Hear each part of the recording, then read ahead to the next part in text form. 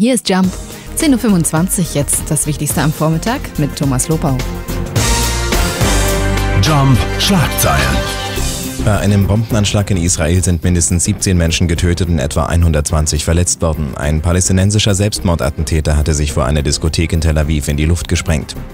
Die CDU will offenbar mit einem Gesetzentwurf die Forschung mit embryonalen Stammzellen aus Israel stoppen. Das berichtet die Bild am Sonntag vorab.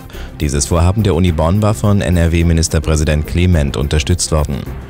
Ein in Guatemala entführter deutscher Manager ist erschossen aufgefunden worden. Unbekannte hatten den Mitarbeiter des Schering-Konzerns vor drei Wochen gekidnappt. Sie wollten 1 Million Dollar Lösegeld.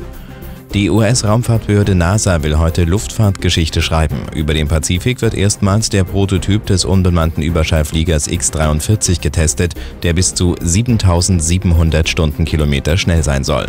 Das waren die Jump-Schlagzeilen. Dankeschön, Thomas.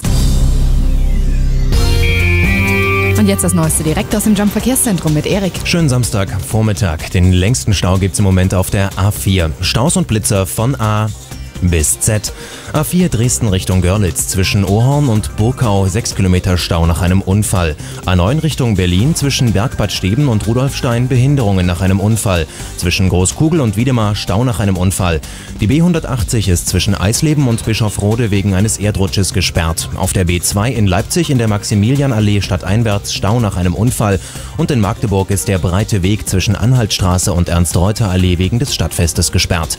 Geblitzt wird. Auf der A4 Richtung Dresden zwischen Herleshausen und Eisenach West, auf der A9 Richtung Berlin am Dreieck Potsdam, auf der A13 Richtung Berlin zwischen dem Dreieck Spreewald und Lübbenau, auf der B95 Richtung Annaberg-Buchholz zwischen Chemnitz und Burkhardsdorf.